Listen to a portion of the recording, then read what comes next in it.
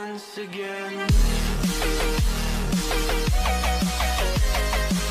Hello, it's Jimmy again at Riley's Autos, and we've got a 2017 Peugeot Boxer 2.2 HDI with a vaporizer problem and DPF issues. So we're going to look at fixing it and diagnosing it. We have got another video where we had a look at this van to do the tests on it. If you want to look at that, but uh, now we're just going to show you what codes we've got and how we're going to rectify them. So here we've got the P15BE73 particle filter plug relay stuck closed PEF and we're going to remove the vaporizer and test it so we can show you. And for these other faults you got the EGR valve. We're going to do that on a separate video. But first here we're going to fix this one so we've got the van jacked and an axle stand on it and we're going to have to go underneath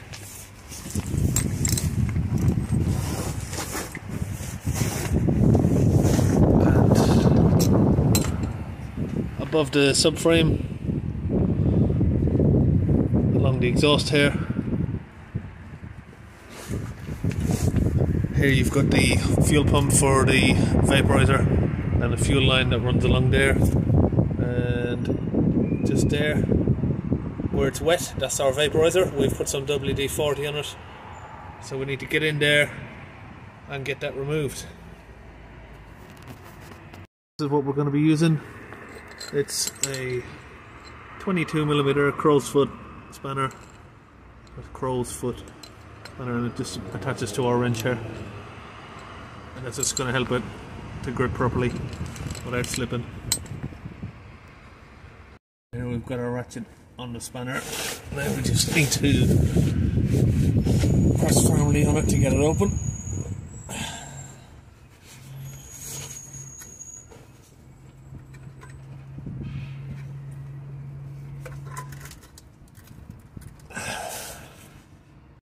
it doesn't want to open so we're going to get a socket and extension onto it see if we can get it open with a bit more leverage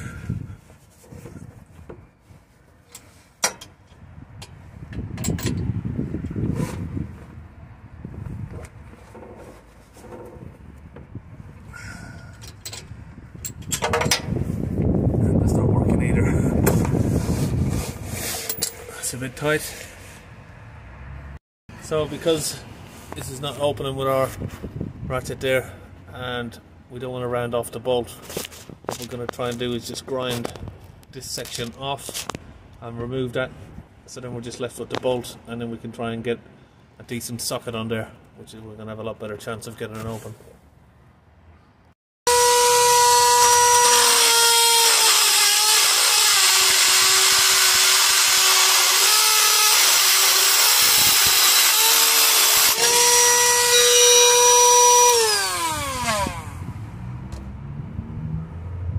Used a rotary tool for that with a carbide bit.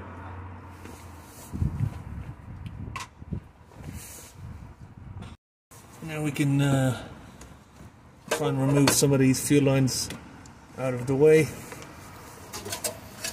And these cables. And the section of the vaporizer that we've taken off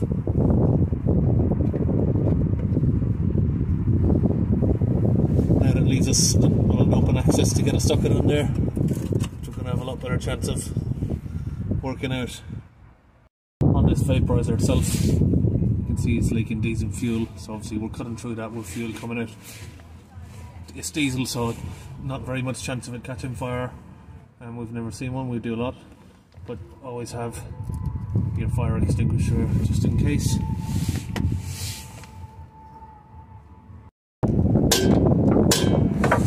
sure that socket's hammered on nice and tight.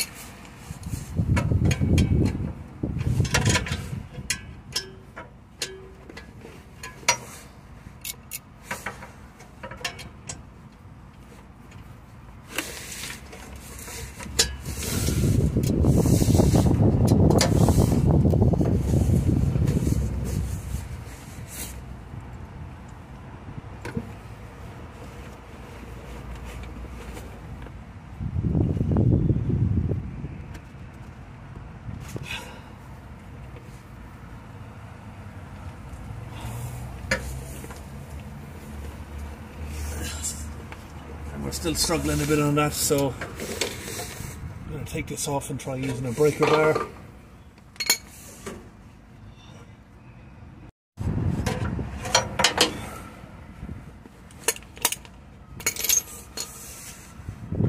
Got some success in getting it out. And you can see the state of it there that it's blocked.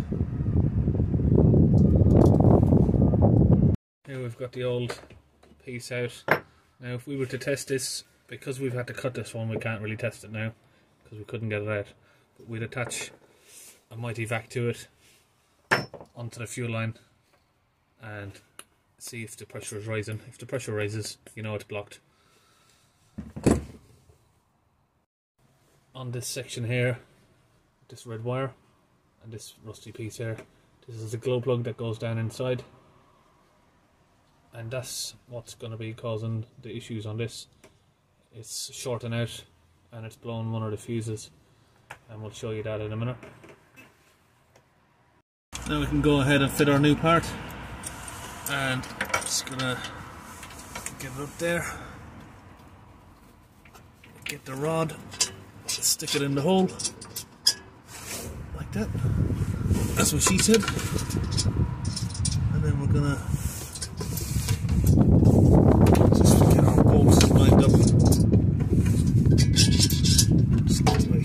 it's aligned so we don't cross thread it.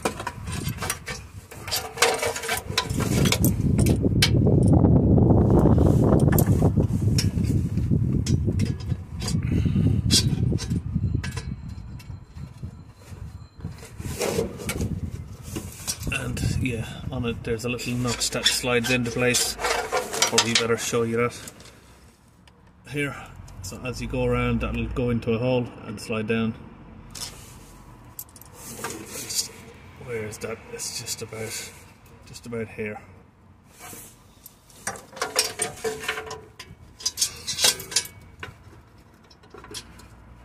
And that will allow you to get the thread on.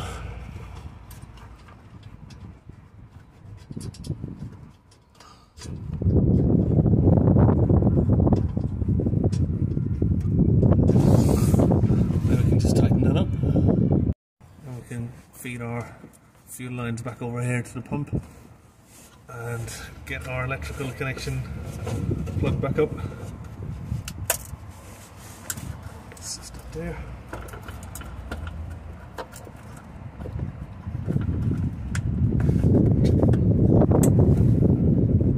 That's plugged in. So we're just going to leave this loose for a minute uh, just to make sure we've got fuel coming out of the fuel pump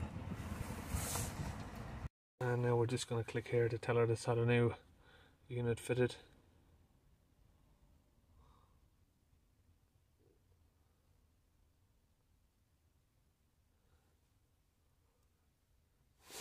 You can read that. Uh, we just have to wait for that to program in. And by putting our diagnostic on there you could see that the primer pump is working we come to the front of the van here and open the bonnet remove the passenger headlight. You've got a few screws here. Just take this out.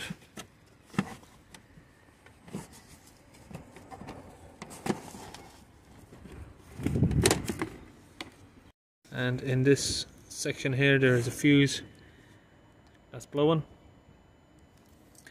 And that's related to the vaporizer so we're going to put a new fuse in that.